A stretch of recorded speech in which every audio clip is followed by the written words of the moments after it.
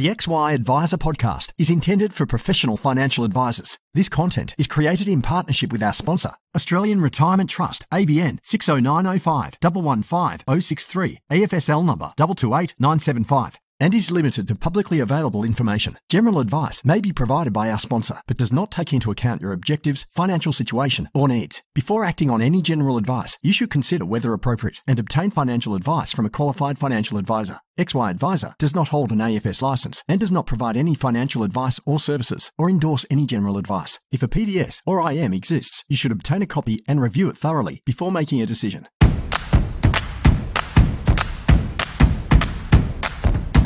Welcome to the XY Adviser Podcast, a global community of financial advisors sharing and learning with one another to drive the positive evolution of financial advice. To get involved, go to xyadviser.com or simply download the XY Adviser app.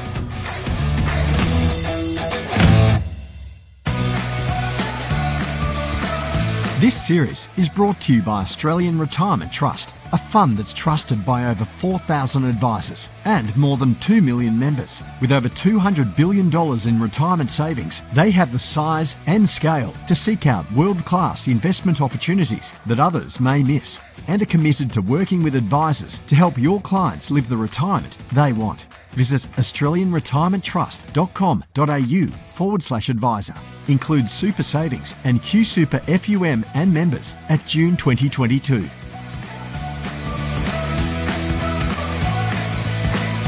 Hello and welcome back to this series on the art of building trusted relationships.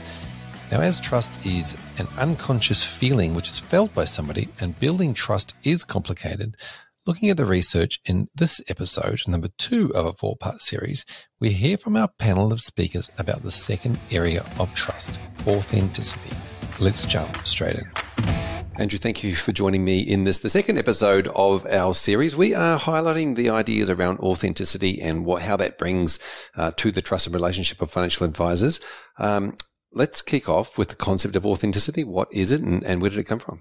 So authenticity it, it is really a reaction to um, a bunch of work which was done and started in 1992 by the Bain Consulting Group, which looked at um, the concept of likability in relationships. And so they were focusing on um, building likability scores for their businesses so that people could understand them and articulate them. And that came out as um, the Net Promoter Score, um, so the NPS score, and which is a likability score. So likability is interesting, but it's not important. Um, so um, likability tends to ha- uh, answer a question in a couple of ways. Would you recommend, um, and and how much do you like the service? Are the two questions. And the reaction to that came out really relatively swiftly from. Um, um I think it started in the medical industry where it said, well, that's interesting, but it's not important. What's important in this is uh, authenticity, which is a subset of predictability, which is one of the big trust drivers. So if you think about trust being driven by benevolence, competence, integrity, and predictability. Like uh, authenticity fits into that predict- predictability bucket. And if you want to read about that, there's a guy from the University of Michigan who's done some really, really good work on that. And Philip Symbio is another writer who's done a lot of really good work on that. So understanding that becomes really important. So authenticity is two questions. It's are people what they say they are and do they do what they say they're going to do? So it's a really, really simple uh, set of questions to ask, and researchers tend to like it because it gives you a two by two. You can put, uh, you can track people on the x-axis on are they who they say they are, and the y-axis and who they say that, uh, are they going to be. What uh, do they do? What they say they're going to do? So that gives you a couple of quadrants. And it's an interestingly, we've had some changes in CoreData in the last little while, and I've been pushing the changes through as quickly as I've had. One of the things that you always do is reflect on yourself and uh, am I doing everything that I said I was going to do? And um, the answer to that was often no. And it was the question, it was never a question of intention. It was a question, problem of bandwidth. So one of the things that I've started to do, particularly with clients and, and also with, um, uh, with staff is just promise less. So we'll get to that when we can. And uh, I think you just walked in on a meeting, um, as we were starting Fraser and people were saying, we want to do this, this and this and this. And I was like, not in the next 270 days. We're not because we won't be able to deliver it. And that will lower the authenticity we have as a management team. So for in the advice relationships, this becomes really important and it really becomes really important to another part of psychology, which is the concept of anchoring. We're kind of poor at this as an industry and anchoring is when you come back to something that when, that you've done with people and, and, and remind them of what's going on. So now what happens in CoreData and, and with our clients is we work on a 90 day cycle with people and we're very clear about it. And we say this 90 days, we're going to do this and we're going to focus on doing it's always generally about three things because there's a very strong rule of three in people and the way in which people remember things. So I'm going through the process now, coming back to the team and my clients and said, Hey, remember in this quarter we said we were going to do A, B, and C. We've done A, B, and C. Um, uh, we've also, in some cases, done E, F, and G as well. And if you're working here internally and you've done E, F, and G as well, you tend to get a bonus. And if you've done A, B, and C well, then you know that you get your salary. And if you haven't done A, B, and C, then that's another challenge. And we're having the same conversation with the clients and making sure that we've delivered against the things that we say that we're going to deliver against. That anchoring has a really powerful and positive impact, particularly if you back it up with data. If you're saying to your clients, we're going to meet in 90 days, in that 90 days, we're going to, we're going to have done these three jobs. And you come back and say, remember how we said we are going to do these jobs. We delivered against these jobs in this time frame, and then we have actually do it, and and we can anchor it. So um, an example at CoreData might be is that we, we changed from the Google Suite to the Microsoft Suite. We said that was going to take a quarter, and we, we were going to add, we were going to move from Confluence to Share to SharePoint as a way of doing it. And we delivered against all those things. And so, you know, we were able to say, we said we we're going to deliver this on the operational side. We said we we're going to hit these numbers on the sales side. We we're going to, and we we're going to do this on the satisfaction side. And six months ago, we said we were going to organize an offsite in Manila we're now delivering on the offsite Manila and making sure that we're, we're, doing all those things. So this authenticity piece becomes really important. So it's two integers and you should put this in your business all the time. Do, uh, if we ask the question to our clients, are we who we say we are? Uh, do the clients up for a start know who we say we are? That's a really interesting question because often they don't know who you say you are. Um, can they answer the question if you say, you know, company A, who are we? And they can replay back who, who you say you are to them. And B, do we deliver on what we're going to deliver on? Say we're going to deliver on and, and, and have that as an issue that becomes really powerful. It's in our client feedback surveys now. And sometimes that's really brutal. Yep. But it's a good learning every time. Yep. I'm going to, I'm going to dive into a bit more in, uh, in the next episode into delivery, uh, and reliability in that, in that sense. Um, which is the, which was what comes next after delivery. Um, but I want to talk about, um, a lot of uh, you, look, you know, we're in, we're in a profession that there's been uh, a lot of human beings, and sometimes um, there's there's people being who they're not. You know, like be who you say you're going to be, and, and then if somebody is not necessarily a particular way, or they like to uh, do things a certain way, do you think they're better off just to be really who they are rather than try and be someone they're not? As in, if if, if they're not used to, you know, we're, we're recording this in Sydney. There's a lot of suits and ties, but if somebody's in the outback in uh, in a small country town, they might not be. You know, they're, they're better off to be who they are. A, I'm not a trained psychologist, so I'm kind of hesitating to answer this. I've read a lot about this, but yep. I'm by no means an expert and wouldn't represent myself uh, as um as that. If you're not who you say you are, then it causes a great deal of psychic pain. Yeah. There's the whole concept of psychopathy, psychopathy of people who are really good at misrepresenting themselves. There is as many of those people in this industry, the industry they work in, that there are in any industry. So I don't think we're perversely overrepresented in that space. But there are plenty of observable psychopaths in this industry who aren't who they say they are. And if you've been around long enough, you can recognize them pretty quickly.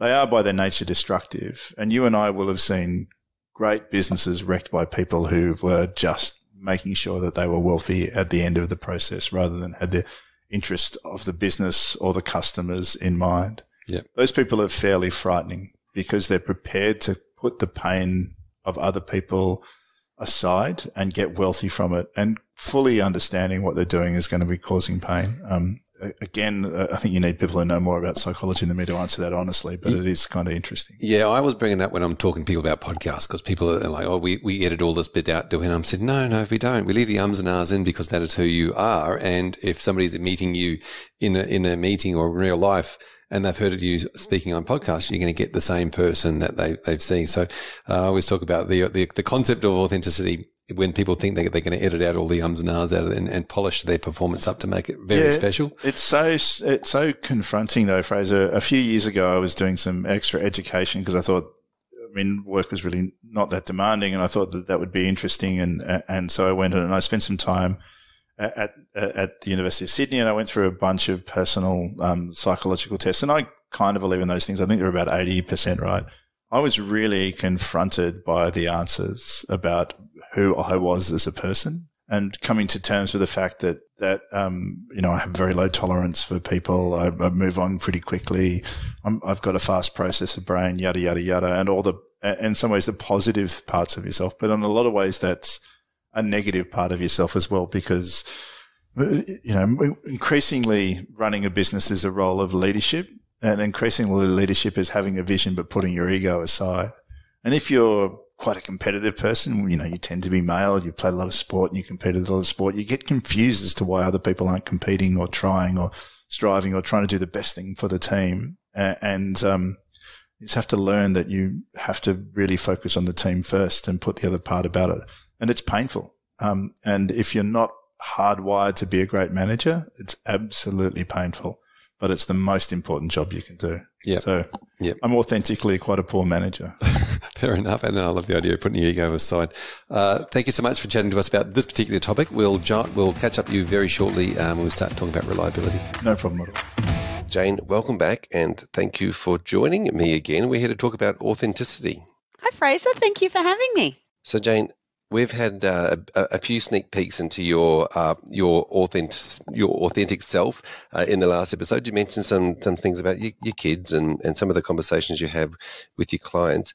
How important is it for you to present uh, as your true self? Uh, you know, as as Jane, rather than sort of, you know, as as a professional that doesn't doesn't you know sh- show their emotion or talk about their kids or anything like that. How important is it for you in your client relationships? Look, it's really important. Um, I was really blessed um, when I had my youngest daughter, uh, who's now 11.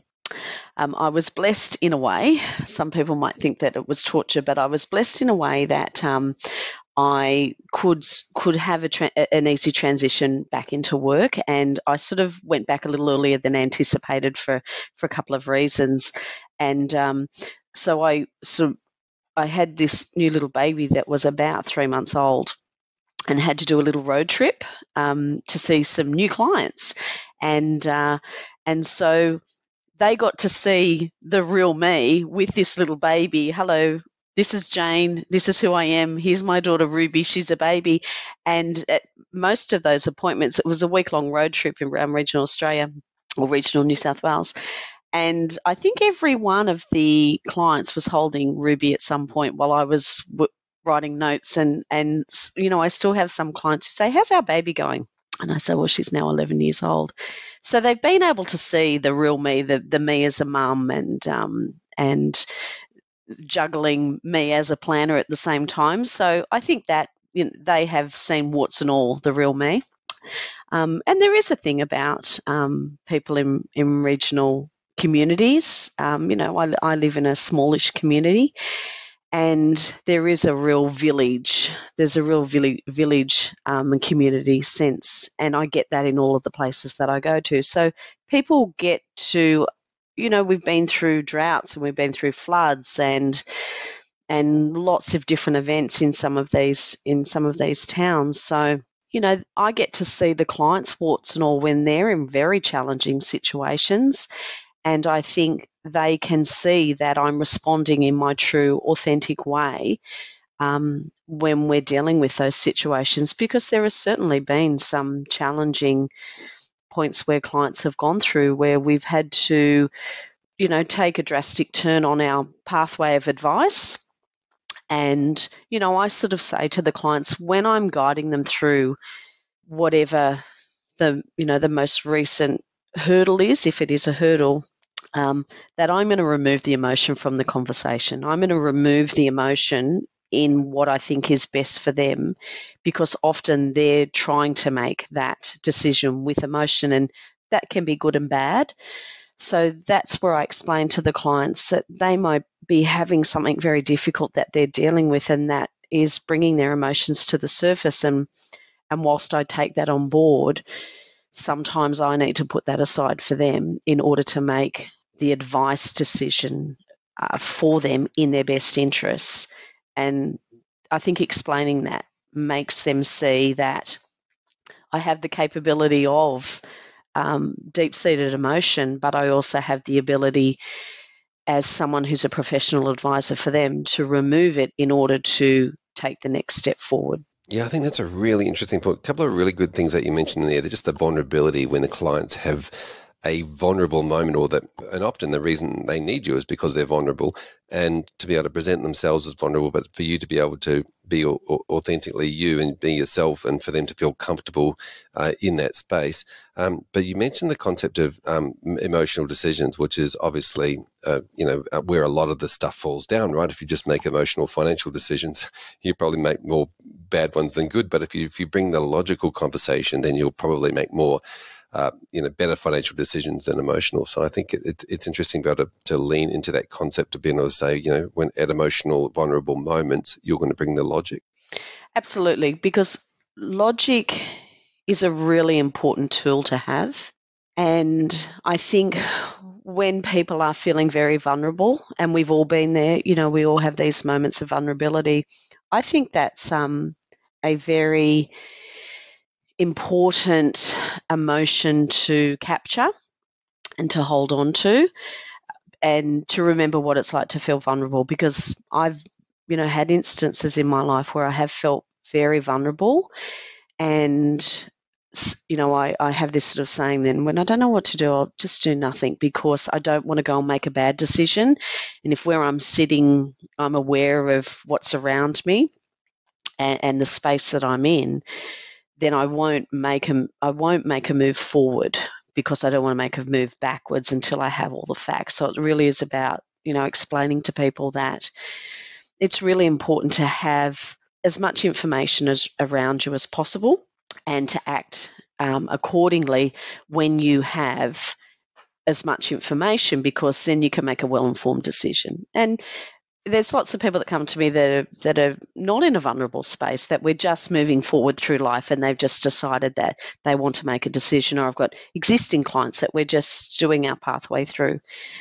Um, but even then if we if we are you know doing a review and we're really not making any changes it's i'm explaining to them because i've considered every factor and um, and there's no need to make a change, and that's because we've looked at everything around us and, and we've got as much information to make that well informed decision. Yep.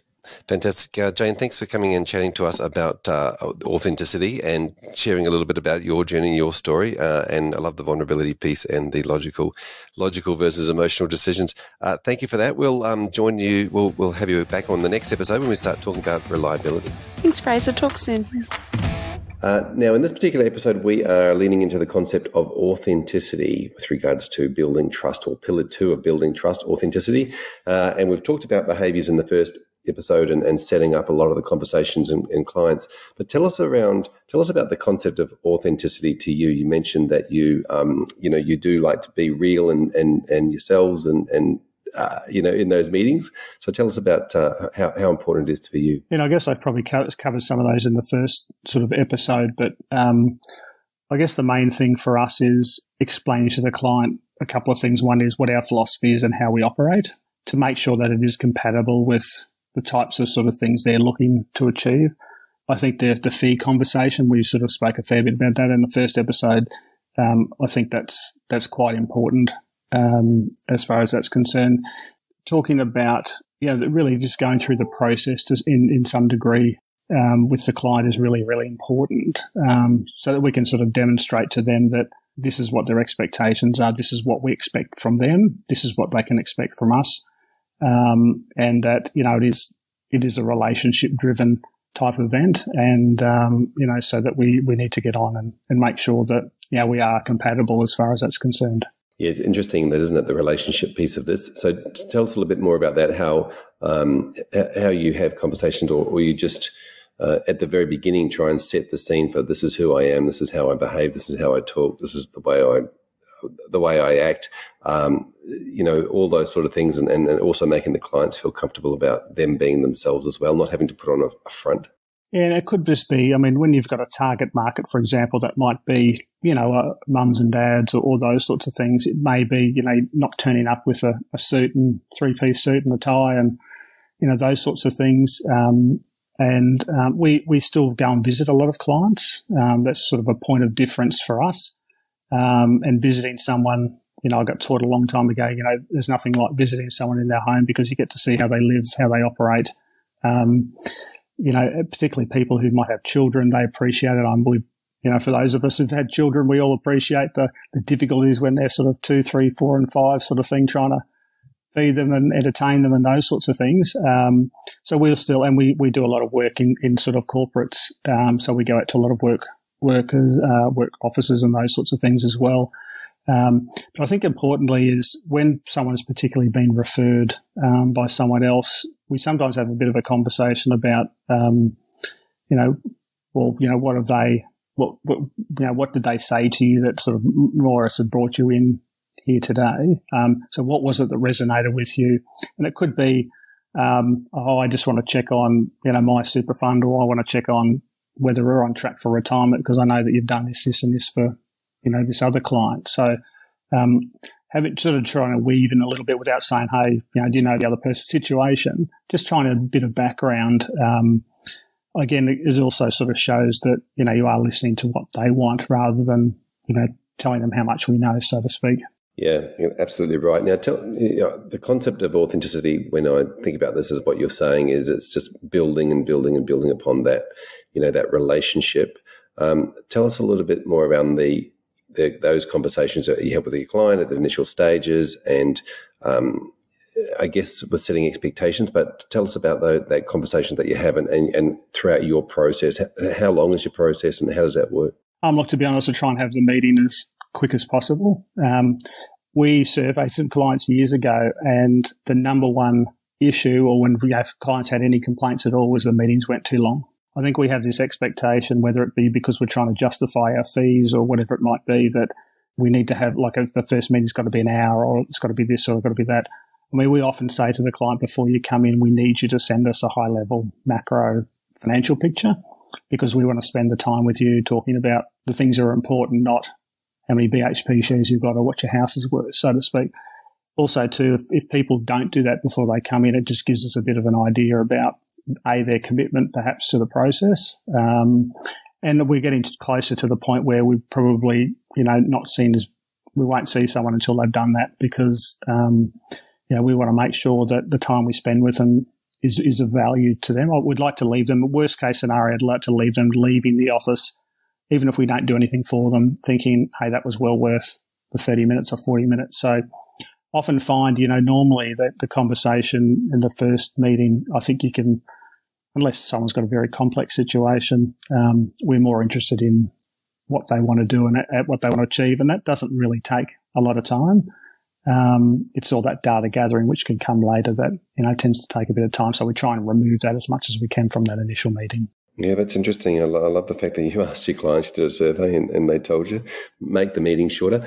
Um, how important is it to you um, that you get the you know the real Anthony Jones across? You know who you are, what you believe in, rather than say the the, the Templetons um, financial you know advisor from from a from a logo. How, how important is it to you to get the, the real you across? Well, it's sort of difficult because um, I think we we run the same sort of process. We do the same sort of, and I know with my business partner, he he operates exactly the same. So whether a client saw myself or or him, I think you would get a very similar outcome.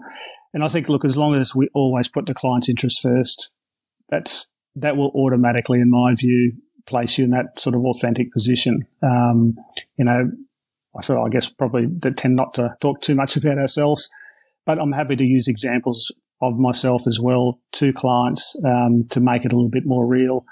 A simple thing could be, you know, if someone's talking about life insurance, I just I can hand them my I take my life insurance schedule of my own with me. So if someone goes, oh, you know, we're talking about this, and oh, why would you need that? And I, or gee, that seems like a lot, or whatever it might be. I'm more than happy to sort of share what I do for myself. It's pretty simple that way. It's a fairly common question, isn't it? What do, what do you do? Well, actually, I've never get asked it. I'm surprised that people don't ask more often. What do you do? You know, how do you invest your money? Where's your super fund? Where's this? You never get asked. It's it's really interesting. Yeah, they probably they're probably just thinking it and too scared to ask. Probably, yeah. But I actually offer and say, well, this is what I've got, and this is how I've structured, and this is the reason for it. So again, rather than saying something like, um, oh, the reason you have life insurance, maybe life insurance in super is because of X, Y, and Z. um, I'll say to them, this is the reason I've done it. Or if you're talking about estate planning, this is the reason I've put a testamentary trust in, blah, blah, blah. Um, so when you sort of done it, all of a sudden someone goes, well, gee, if you've done it for yourself, you know, you're, you're eating your own cooking, I guess is the, is the, is the way to describe that. So, yeah. yeah.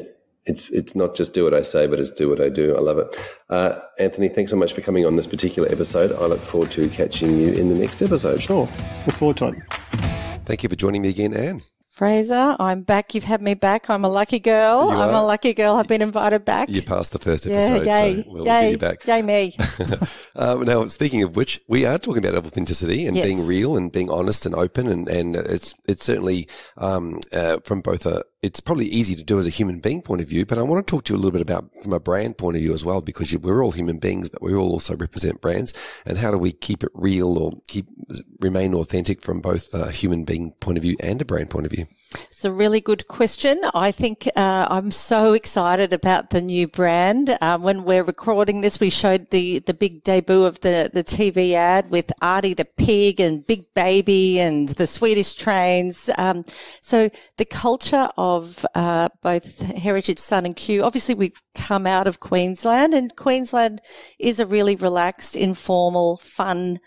You know, culturally, um, Slightly patriotic state. I'm slightly patriotic. I do confess I'm very patriotic as a Queenslander, particularly on those three nights of the year that Yep. involve a maroon jersey part.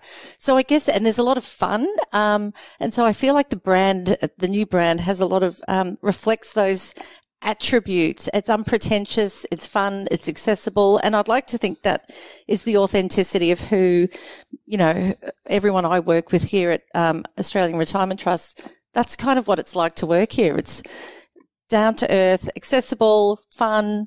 How can we help? You know, that's the that's the vibe of the place. Yep. And I think it's pretty important for financial advisors running their own practices that they understand what their own authentic self is and then how they translate that into their own brand. I couldn't agree more. I the advisors who I love have such they have they are so comfortable in their own skin. They're completely unpretentious. They've got a beautiful down to earth bedside manner. If you think about the doctor, like the, the doctors that you've, you've been in hospital, had to go to a GP, they don't speak the jargon. They're not sort of all kind of stiff and acting all kind of, you know, um, professional, like I'm, you know, born to rule, sort of, I'm a you know, they'd say, Oh, don't call me doctor, call me blah, blah. And uh, the advisors that I think have the highest impact, um, we've had a couple of advisors over the years sort of talk to all of the staff here at Australian Retirement Trust and the ones that have that are really just, they're unpretentious, normal selves who just tell great, oh, and they're great storytellers and they just tell great stories about how they've helped their clients who happen to be members of ART man, that people talk about them for ages afterwards about, oh, they, they were just amazing. I loved that story about how they helped the so and so member. I'm like, yeah. So that's what it's all about, really. You want, if they can, those advisors that do tell those stories, they get repeated over and over. It's the best form of um, advertising you can have. Yeah, when you tell the story of the doctor, it makes me feel like the power and balance, right? The the idea of you know somebody who is on a different level than you. What are you, what are your thoughts on that with the advisors? Just trying to make sure that they are on the same level as the client. And I, but I think there are those, um, if I apply the doctor, you've got those doctors that refuse to work in the public health system because of this, you know, you know, I'm here to make a lot of money and there is probably that power imbalance where I think like the advisors, um, again, that I think, uh, who inspire me, we all obviously want to make a good living, but they have that sense of service where they do some pro bono and keep it, keep it, you know, how can they help and serve the community and also generate a good income for their family and pay their staff good wages, etc. So, uh, Yeah. yeah. there isn't that power. They're just, they're not that, that, um, the, the how they how they show up doesn't um, ooze um, power. Yeah, you mentioned that sense of purpose or sense of community. Um, how important is it to understand your own sense of purpose, their own values and philosophies, and therefore be able to say, this is actually who I am as a human being, and I'm going to lean in and embrace that? They'll probably end up with those types of clients. Yeah, I, well, I don't you think, Fraser, that if you walked out onto the street here and you asked anyone what matters most, they'll talk about their family, their health, and financial security. And yet, this industry is the least trusted, and it's probably the least trusted because of people wearing um, you know, they've got the Wall Street types, the, you know, the, this very kind of, uh, um, doesn't have the accessibility of the ordinary person wandering around their local shopping centre. And so I think if we can bring just the, the, the accessibility factor into everyone's lives through, um, through using technology to um, access more people. I know there's a lot of advisors are doing podcasts now and doing their own videos for education. That's the exciting stuff that will generate trust. It will get shared on social media, create trust and realize that these advisors aren't just to sort of there to help the really well off people, but they're there to help the the people who are just ordinary, you they get retired with a couple of hundred thousand dollars and they um, want to make the most of it. And you, and as an advisor, you can charge a, a good fee for that um, just like an like an, a normal specialist would. And, and and people and people will talk. My experience will be is that the advisors that do that generate a lot of um, referrals off the back of that business model. Yep, I used to work with somebody who used to talk about the concept of middle-aged white men in suits. Um, we, have seen plenty of them on TV telling uh, telling fibs every now and again. So it's it's it's not just uh, for financial advisors; it's also different uh, people as well. But talk talk to me about the idea of transparency and how um, you know being completely open and honest about um, you know from a business point of view as well as a human being point of view? But uh, uh, so I think um, surely now we as an industry, superannuation, financial advice, insurance, we've all worked out that if we try and get too tricky, you're going to get caught out. You will get caught out. And so I think we must construct everything, at the business model around the client um, or the member if you're in super fund world. And if you're trying to um, find tricky ways to generate revenue or inevitably I just think that that will be exposed at some point because transparency is so high these days and will continue to be so more so. And then you're risking your brand. You only get one shot, you, um, one shot in terms of holding on to your trust. And if you, if you let go of it, it's so hard to get it back. Yeah. And I think, yeah, if you're not prepared, if you if you wouldn't want to put it on the front page of a newspaper, how you how you're running your business model and how you're generating income, then that probably tells you something. Yeah, exactly right. Yeah, and I think uh, we're also all human beings too. We all make mistakes. So, uh, what what are your thoughts about just leaning into when you do make mistakes to be able to own them? Yeah, I think that's what creates trust, doesn't it? You just go, "Yep, we've stuffed up. We're sorry our bad. It happened for this reason. You know, we had a we had an error here recently with a technology glitch, um, and it impacted 150 members. It was um, it really just a system glitch. It was embarrassing. We owned it. Yeah, and I think you actually the um, the advisor in question, who was very uh, good about it, um, really I think appreciated the fact we just owned up and went, "Yep, it's system stuff up. We're sorry. What what else can we do?" the, the, and yeah, everyone's human, right? No one's perfect. No systems are perfect. Own it, I say. Yeah. Yeah, absolutely. There's no, there's no, we're certainly used to uh, leaning into our own mistakes here at uh, XY. We, we make plenty of them. Don't you worry.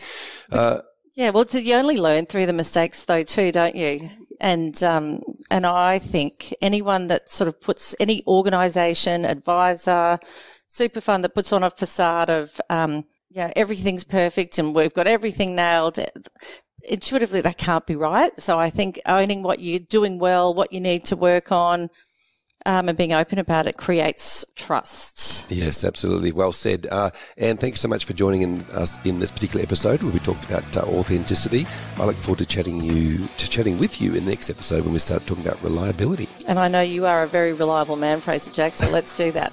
thanks.